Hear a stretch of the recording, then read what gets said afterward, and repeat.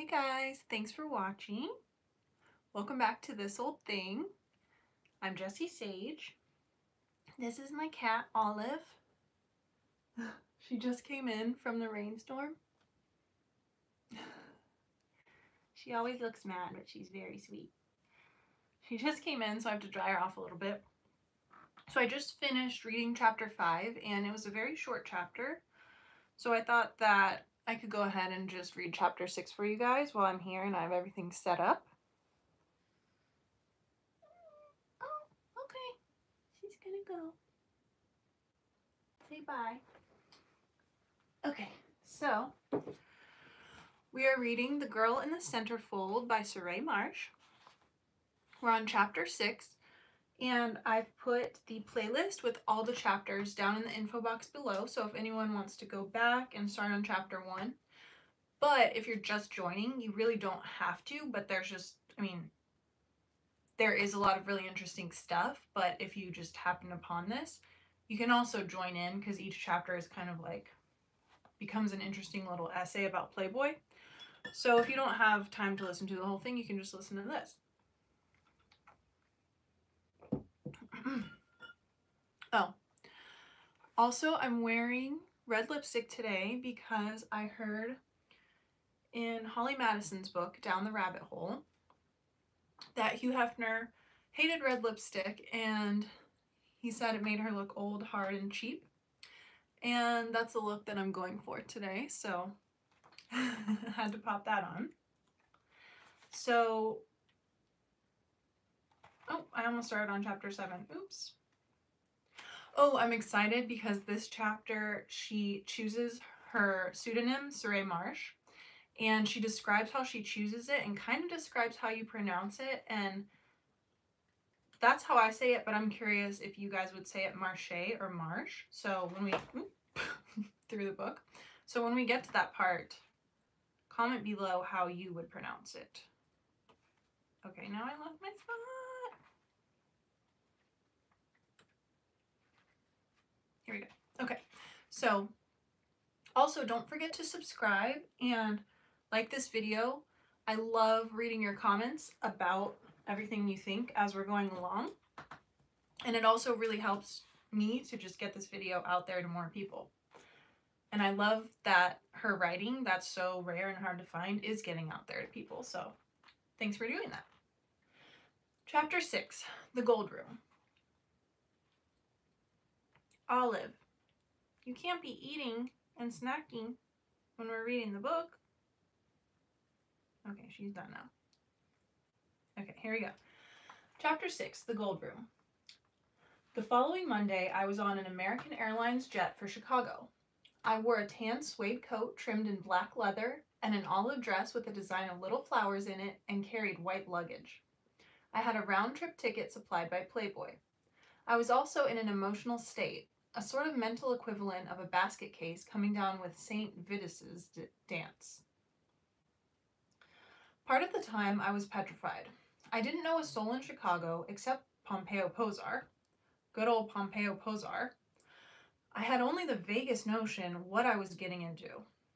Now, the blouse please off. I had nightmares about standing naked before thousands of stern and disapproving men, all wearing white coats. Suddenly, they started to laugh. They became hysterical with laughter. My reaction to my fear was grit the teeth determination. I had agreed to do this thing. There was no backing out. I was a big girl, and I'd act like a big girl. No shivering, no sweating, no protesting. I was going to do what was expected of me. Part of the time, I was thrilled to death.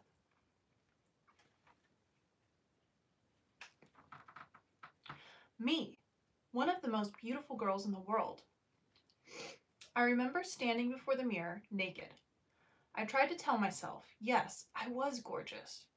Anyone would think so. Mirror, mirror on the wall, who's the fairest one of all? Not you, booby. would you believe it's June the Bosom Wilkinson? A girl with a beautiful body ought to share it with mankind.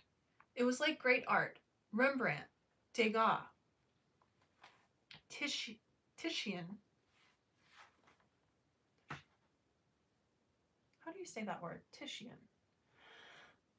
A sharing of beauty. There was nothing dirty about it. Now, what am I offered for this fine reproduction of Miss Solveig Mellenborgen, sold to the gentleman with a lecherous grin for two cents? Part of the time I was simply excited. A great, new, splendid world of Hollywood and fame was to open up for me. Stepping out of her chauffeured limousine is the celebrated Solveig Mellenborgen. She is absolutely stunning and buff. Wherever did you buy your costume, Miss Mellenborgen? You made it yourself? My, such talent. I was also excited at the prospect of living in Hefner's mansion. In the January 1966 12th anniversary issue, I was to be in the 13th. Playboy published a 22 page, 14,000 word article on Hefner's house.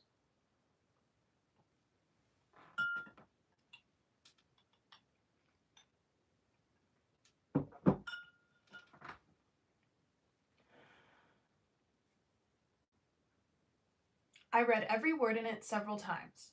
My, it must be a palace. And Mr. Hefner, what a man he must be. Imagine living like he did, and right in Chicago. Many things impressed me. Names, for example. The article was full of names. Shel Silverstein, Johnny Carson, Skitch Henderson, Mort Sahl, Jules Pfeffer, Feiffer, Theodore Bikel, Bob Hope, Martin Belli, Richard Gehman, Herb Caen, Theodore Roosevelt, Norman Mailer, Budd Schulberg, Don Adams, Dick Gregory, John V. Lindsay, Nathan Leopold, the Maharaja of Jaipur, Mel Torm, Torme, David Janssen, Bob Hope, it says again,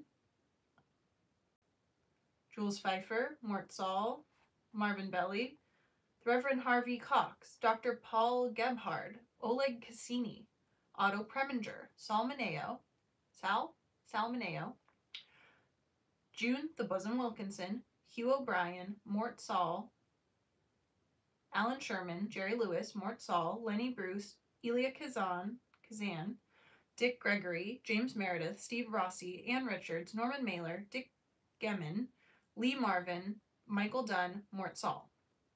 My, Mr. Hefner knew lots of people. Just imagine, Mort Sahl and Theodore Roosevelt. But who was Theodore Roosevelt?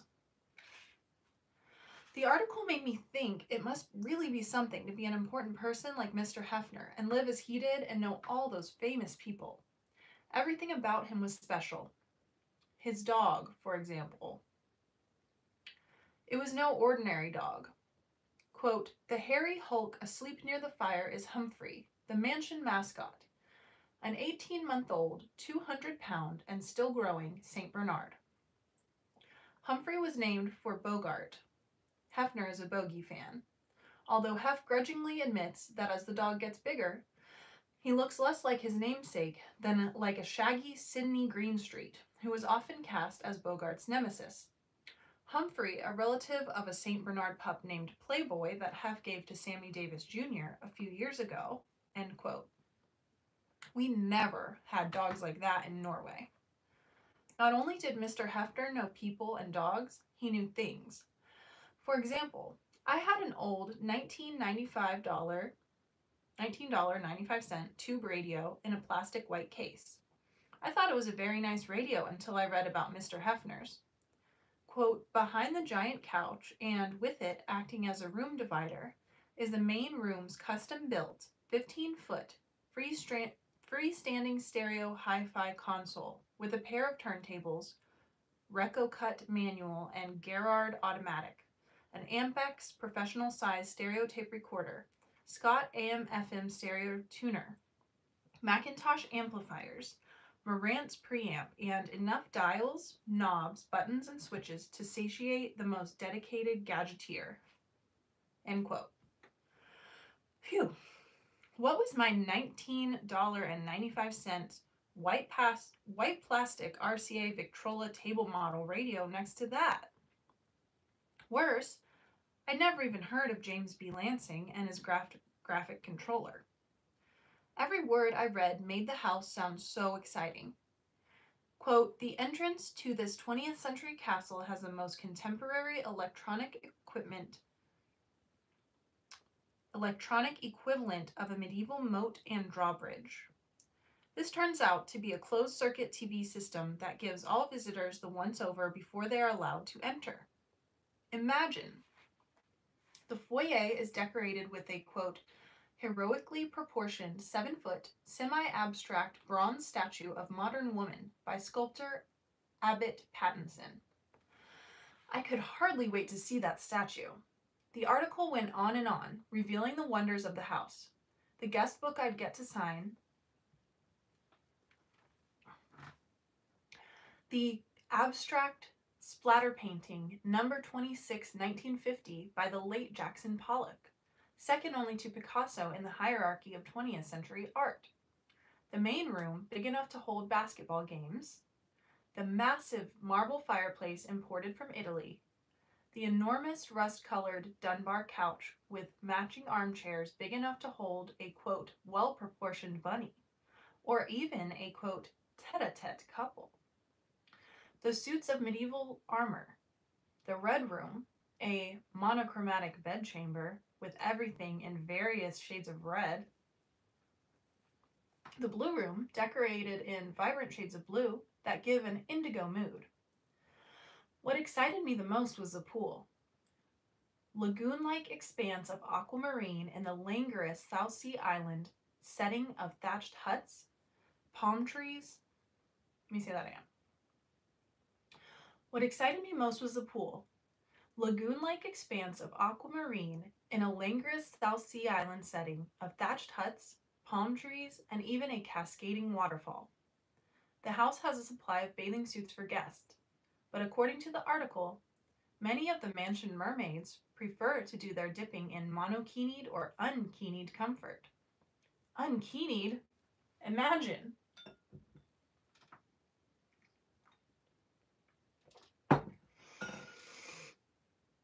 If a person swims under the waterfall, he or she, preferably both, if a person swims under the waterfall, he or she, or preferably both, reach the cave, or as Time puts it, the Woo Grotto.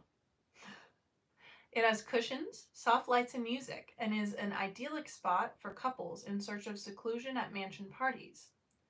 But, as the article warned, there is a trap door above, so lovers can be spied upon. Mr. Hefner has thought of everything. The house has everything. There is an underwater bar, reachable by either a brass pole or a spiral staircase, with a view of the unkeenied bathers. A game room with a coolly quiet atmosphere reminiscent of the London a London men's club. And even a bunny dormitory where, quote, cotton-tailed charges have the full run of the mansion's opulent facilities and the comfort and conviviality of their Hefnerian habitat, as well, of a as well as a sun deck where the girls could tan in monokinied or unkinied comfort in full view of adjacent penthouses.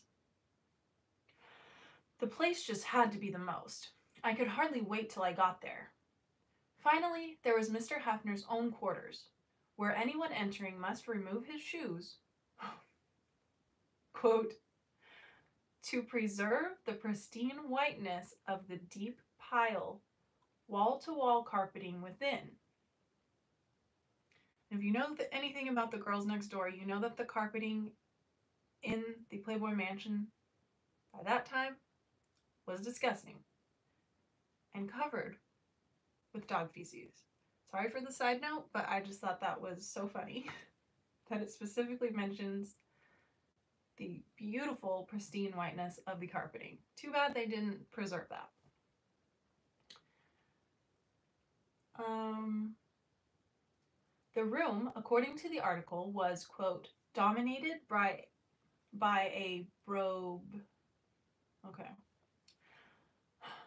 Dominated by a Brobdingnagian circle bed. Brobdingnagian circular bed eight and a half feet in diameter and equipped with motorized controls that, quote, enable. The bed was equipped with motorized controls that, quote, enable Hefner to rotate himself and a dozen passengers if he wishes. a full 360 degrees in either direction. Quote, it goes 33 and a third, 45, and 78 RPM, Hef says. Imagine we, that would be dizzy lovemaking. Absolutely everything.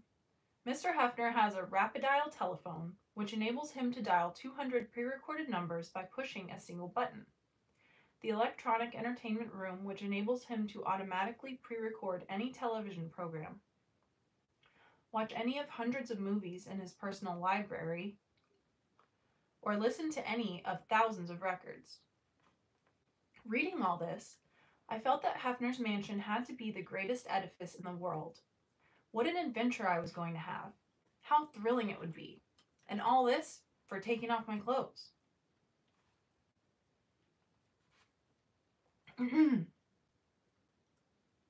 Pause, let me grab my cat. He's making noise. Hi, baby girl.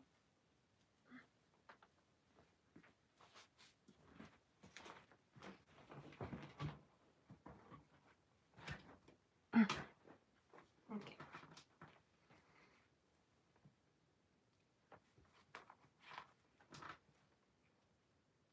Okay, let's see.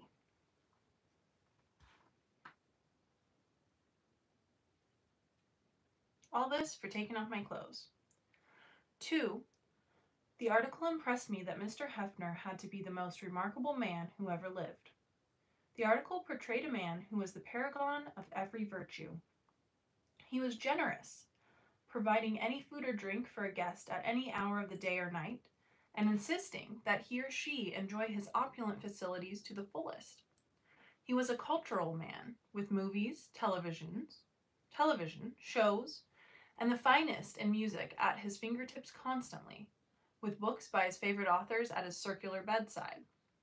With the, quote, heroically proportioned seven foot, semi abstract bronze statue of modern woman by sculptor Ab- Abbott Pattinson, and art by Jackson Pollock, de Kooning, Kline, and Rivers, especially chosen by Hefner to decorate the house.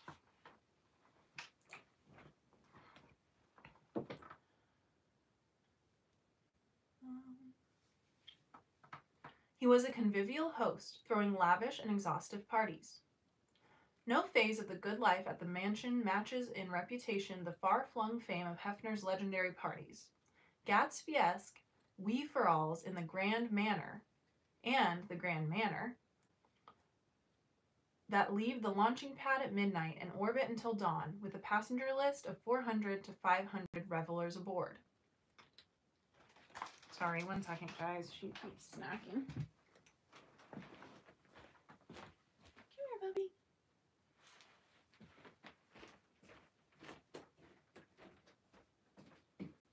Here, have a snack in here. There you go. Sorry, guys. I don't want her little crunching to be in the audio. Okay.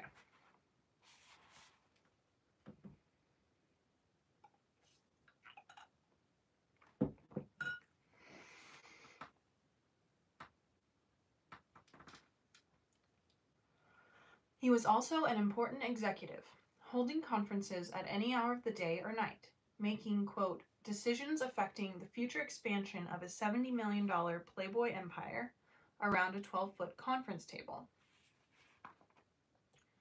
He was a man of letters, working for days on end in, on, and around the circular bed, writing the quote, Playboy philosophy, and editing the magazine. So hard did he work that he kept five secretaries busy full time on staggered shifts until midnight. Two dictating machines were going constantly. Mr. Hefner was incredibly organized.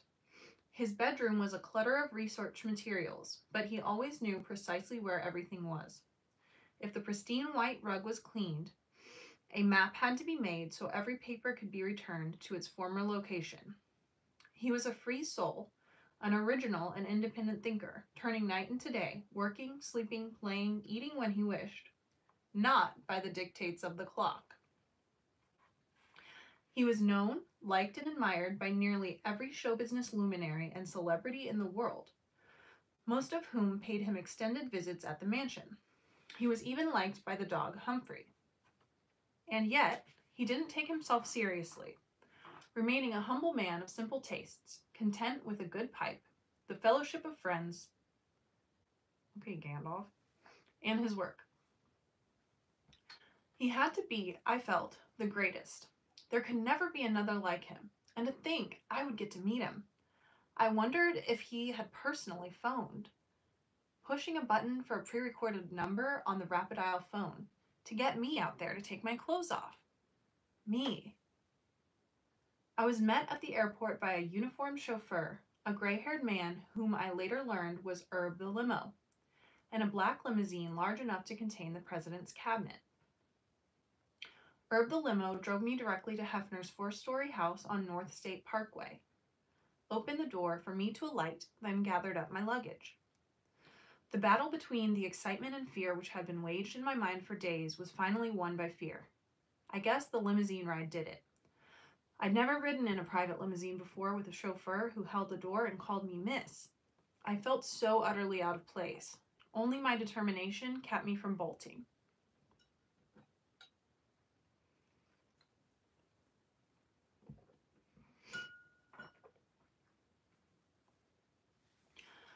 Herb the limo led me through the iron grilled gate and up the steps to the doorway.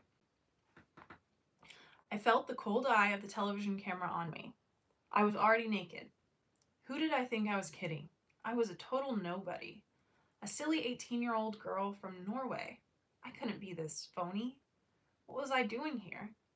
Herb the limo said something, I didn't catch what, and the door opened automatically. I was led inside. There, in the foyer, was the heroically proportioned seven foot semi abstract bronze statue of modern woman by sculptor Al- Abbott Pattinson. I'd been so eager to see it, and it looked awful a bunch of jagged metal with holes for private parts. I was led up the quote wine red carpeted grand staircase and through the quote stark white door set into quote intricately carved and fixtured walls of oak. I stood inside, feeling most awkward. The housekeeper, a kindly, gracious lady, appeared. She introduced herself, welcomed me, said Mr. Hefner wanted his guests to enjoy their stay, that anything I wished in the way of food or drink or service was at my disposal at any hour. I was asked to sign the guest book. I was shaking as I approached it. There above it was the abstract splatter painting, number 26, 1950, by the late Jackson Pollock, second only to Picasso in the hierarchy of 20th century art. Lord, it looked like splattered paint. My hand shook as I picked up the pen. What was I doing? Adding my name to Mort Sahl and Marvin Belli and the Maharaja of Jaipur and June the Bosom Wilkinson. Oh, and Theodore Roosevelt. I scrolled Salve Mellenborgen. God, I had to change that name. I wandered into the baronial main room. It was just as the Playboy article had described it. Huge, 60 feet long, 30 feet wide, 22 feet high. Ornately paneled and equipped precisely as described. There was the massive marble fireplace imported from Italy, the beautiful British beam ceiling, the pair of wrought bronze chandeliers with matching candelabra shaped sconces, the ebony grand piano, the medieval armor, the enormous overstuffed furniture to hold well proportioned bunnies, the stacks of pillows for floor sitting, and the custom built 15 foot freestanding stereo hi fi console, which was, quote, behind the giant couch and with it acting as a room divider. I had two, really three impressions. I don't mean to be unkind. The huge room was truly a marvel, plush, lavish, extraordinarily masculine, the epitome of luxury. I'm sure I stood open mouthed looking at it. But despite this feeling, I had my first impression that it somehow wasn't real. Everything was spotless and shining and precisely in its place. It was extraordinarily formal, casual it was not. There were no newspapers or magazines tossed on the Dunbar couch. No one had abandoned an empty glass or made use of an ashtray or even left a finger mark on the ornately carved oak panel walls or the sliding clear lucite top of the hi fi, which permits the hi fi neophyte to gander at the gear without messing with it. I guess that was it. Nobody messed with nothing. Therefore, nobody lived there. It wasn't the main room of somebody's home. It was a place for show, a museum, the east room of the White House, or maybe King Olaf's castle in Oslo.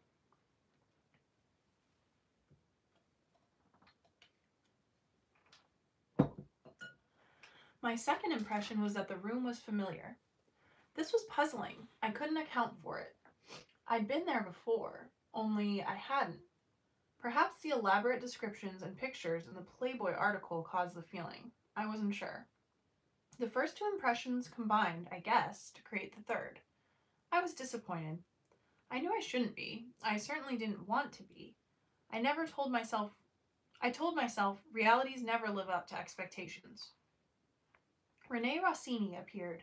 I can't ex- I can't recall her exact title, but it seems to me that Renee Rossini was called something like Playmate Coordinator. I didn't know what there is to coordinate about playmates, but by whatever name, she was the boss. She was in charge of me, which in her language meant she was there to help me in any way she could. If I had desires, needs, or problems, just ask her. Renee Rossini was an attractive, very sophisticated woman in her 30s, I guess. A redhead, smartly, smartly dressed. She talked a great deal. It was as if her tongue would fall out if she didn't keep using it. And every word was very, very, very affected. Solveig, darling, it is so good to see you. You are so lovely, so lovely. I can see why you were chosen. Oh, my, yes. And that dress, so divine, so exquisite. You have such good taste. Somehow, the way she said it, I just knew I looked lousy and my dress was a rag. You're going to have such a nice time here, and we do want you to enjoy it. Anything you want, anything, just say the word. Understand? I didn't feel off to a very good start with she who was to coordinate me. Renee Rossini took me on a quick tour of the house, main room, dining room. Order anything you want. Anything. She led me downstairs to peek at the pool. I was sure she'd tell me I could be unkinied. She didn't. The massage room, the steam room, then down again to the underwater bar. She, so- she showed me the pole to slide down, but we took what Playboy was we took what Playboy had called the narrow, winding, stone walled staircase. The bar was decorated with transparencies of playmates. I guess I'd be hung there soon. After returning to the main room, she took me to my room. My room, itself a bit of a production. She led me through oak paneled double doors at the east end of the main room. Along a wall was the entrance to the red room, that warmly monochromatic bedchamber, and to its right the entrance to the blue room where an indigo mood prevails amid bra- vibrant shades of blue. In between the two doorways was an ornate brass panel. Renee touched the panel and, like magic, it slid back to reveal a short hallway and a spiral staircase carpeted in white. I'm sure I gasped. She chuckled. It is a surprise, isn't it? Here, I'll show you. After the door slid back automatically, she showed me the proper button to press on the panel. It opened again and closed behind us as we started up the staircase. For the first time, I was truly impressed. My goodness, a secret door. The spiral staircase led to the gold room. The 14,000 word article on Hefner's mansion made no mention of the gold room. The red room and the blue room were amply dis- described, but not a word that the gold room existed. The omission puzzled me then and still does. There was certainly no reason to be ashamed of it. It was a large room with three windows, a large bed, table, two chairs, television, and ornate lamps. The rug was gold, the draperies beige, the walls off white. Green chairs were the accent color. I'd call it a warmly monochromatic bedroom, but the red room was already that. How about a coolly expensive bedchamber? Renee showed me the adjacent private bath, the phone with list of numbers for everyone in the building. No rapid dial phone for me, though. And an intercom to the kitchen over which I could order anything, anything at all. She explained how to reach her if I needed anything, how to order the limousine, and left me to unpack. I did the usual things, exploring the drawers, closet, and bath as I unpacked. I remember standing before the mirror for a few moments, looking at myself, wondering if I were really I, and what was I doing there? I felt so strange, so uncomfortable, so lost and terribly lonesome. I wanted to go back to where I belonged. But you're here, I spoke aloud. You're going to stay. You're going to be good. You're a big girl now, Solveig Mellenborgen. Solveig Mellenborgen. Sunny road in the middle of the city. Rain in the gold room was more like it. Solveig Mellenborgen. The name had to go. For one thing, I was forever explaining it. Nobody could spell it. And if they saw it spelled, I was called Solvig instead of Solveig. I needed something simpler. More importantly, I hoped my parents would never learn what I was doing. I had to change my identity. To what? I'd always liked Solveig, such a pretty name. I wanted one equally good, and I wanted to keep my initials, SM. I tried the names beginning with S that I'd heard Sarah, Sue, Samantha, Cynthia. I didn't know that began with a C. And I rejected them I rejected them all. Then I tried rhyming Solveig. Solveig, Salve, Silve, Sulve, Sarve, Survey, hmm, survey, survey, no, sur, survey, not bad, survey, survey, surday, surmay, surpay, surrey, hmm, surrey. I'd been accenting the second syllable so that I was saying surrey. I changed the accent. Surrey. Surrey. No, no. Surrey. Then it changed from R-A-Y to R-E-Y. Surrey. Solve. Surrey. Yes, Surrey. I like the sound. I had no idea what it meant or if it was a word. I just liked the sound. Later, people would tell me it was a ridiculous name, a buggy, but I didn't care what people thought. I liked it. Surrey. Surrey what? Surrey Mel, heavens no. Surrey Mellum, no, awful. Surrey Mark? Surrey Marks? No. Surrey March? Hmm, Surrey March. Surrey Marsh. Yes, yes, Surrey Marsh. I said the name several times. I liked the sound. I tried writing it and perfected the spelling by adding the E to Marsh. Surrey Marshe.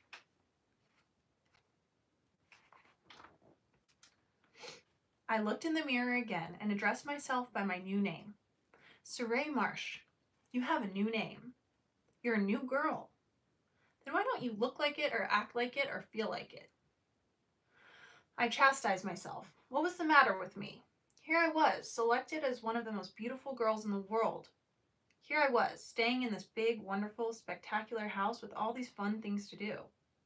Here I was, a new person with a new name, and what was I doing? Moping around, feeling lonesome and sorry for myself. Get with it, girl. Get with it.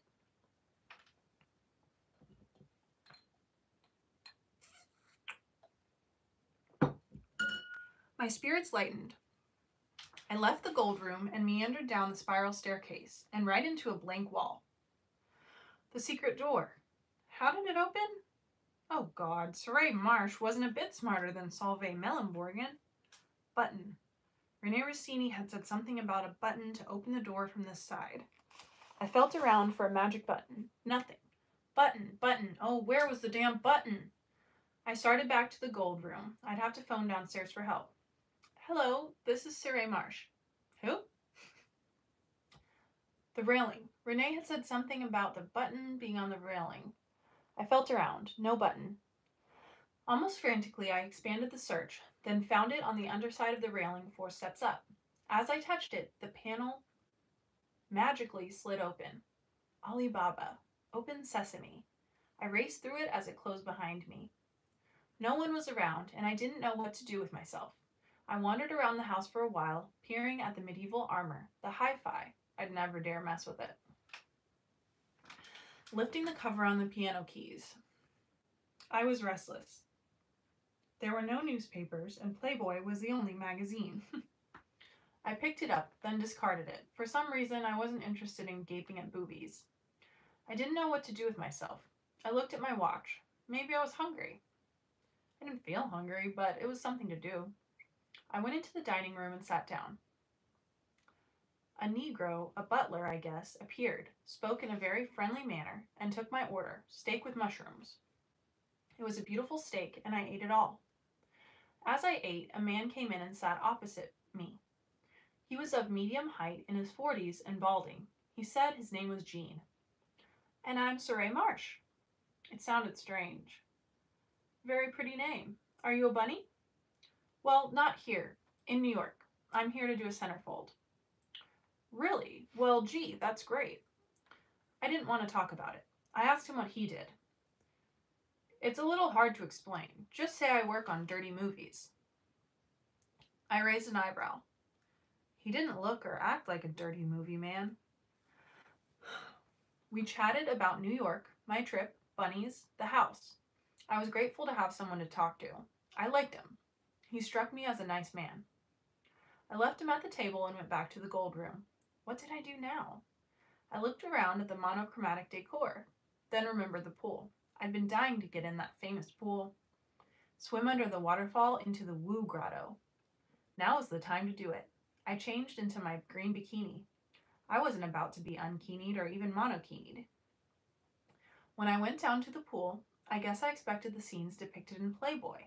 Stitchless Allison Parks standing booby deep in the pool.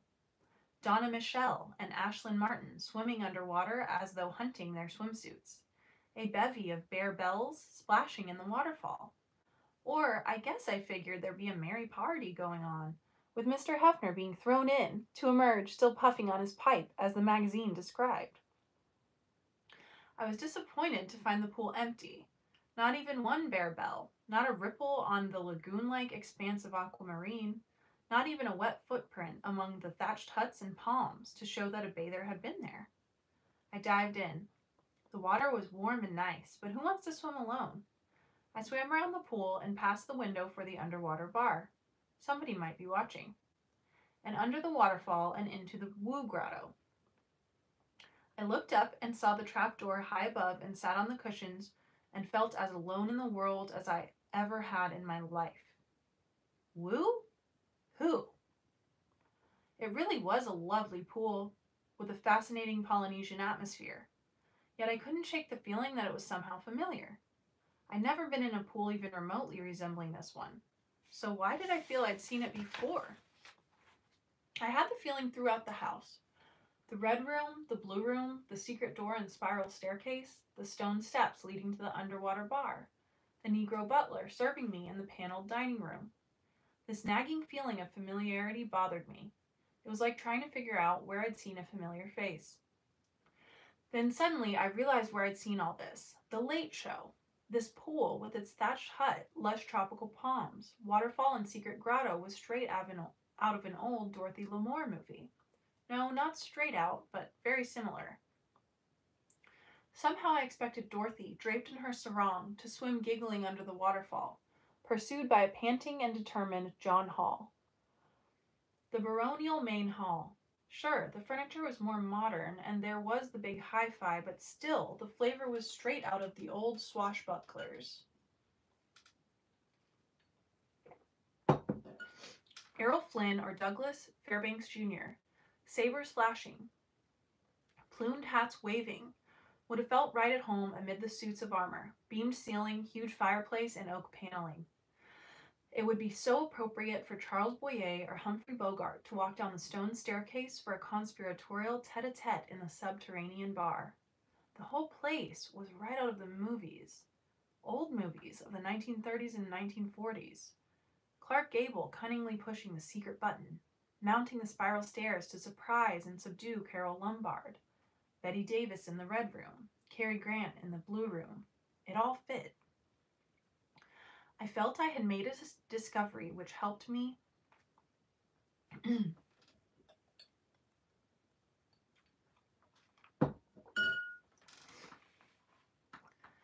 I felt I had made a discovery which helped me understand Hefner's cold, lifeless mansion. It was a museum, a, win- a windy city Hollywood, a monument to the late show, and it made Mr. Hefner seem more human. A boy grows up, becomes rich, and builds a house to mirror the movies he'd marveled at. The American dream come true. He couldn't help it that Hollywood movies, being unreal, made his unbelievably luxurious house unreal. I swam out of the grotto, got out of the pool, and went into the steam room for 15 minutes. I was alone.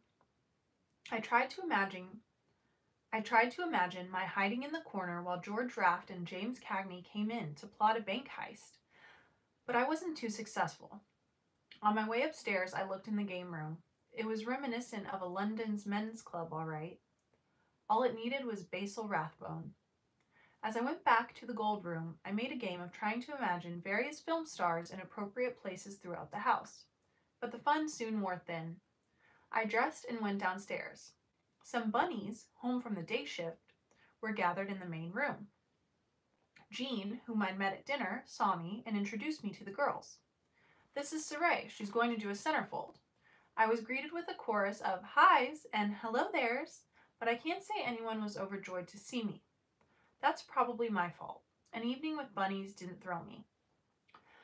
I sat for a while taking I sat for a while talking over a cup of tea. It was all right. I compared notes on the New York and Chicago clubs, found out how they liked living there, groovy, how they liked the house, the most, and what they thought of Mr. Hefner, the greatest. After a while, the crowd broke up, and Jean invited me to his room. He was staying in the red room and thought I might like to see it. I went. It was red. We talked a while about what I don't recall.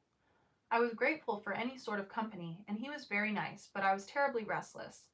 I just couldn't get interested in what he was telling me. I think it was about his work. I know he had a lot of Playboy magazines scattered about. After a while, I tended to lose all track of time in the house. I went back to the main room, sat around. Then just have something to do, ate something. A sandwich, I guess. Some bunnies were around. I listened and said a few words, but I just wasn't turned on. Finally, I went to bed. It was early, and I wasn't tired or sleepy, but I couldn't think of anything else to do. Lying there in bed in the dark, I tried to figure it all out. I knew I was lonesome. I'd been lonesome all day long. There were people around Rene Rossini, Jean, a dozen bunnies, but I just didn't belong. I didn't blame them. They were nice and tried, but none of them really interested me. Here I'd come to this fabulous place, this libido capital of the universe, the hub of an empire embracing free love and fun. And here I was suffering the and here I was suffering the worst malady that can befall man, boredom. I was bored out of my mind. Maybe tomorrow would be better. And that is the end of chapter 6. Next up is chapter 7 Strangers in Paradise. Ta da! Thank you guys so much for listening to that chapter. That was super interesting. Little insight into Chicago Mansion. I love that, and I really wanted to see that pool. that would be so cool. So please remember to subscribe and like this video. That way you will get more announcements whenever the next chapter comes out. I'll probably read the next chapter, chapter 7, tomorrow. And I'll schedule the live in case you guys want to save it, and that way you can actually listen to it live. So, yay, that was such an interesting chapter. Thank you guys so much for listening. I hope you have a lovely day or night wherever you are and I will talk to you soon.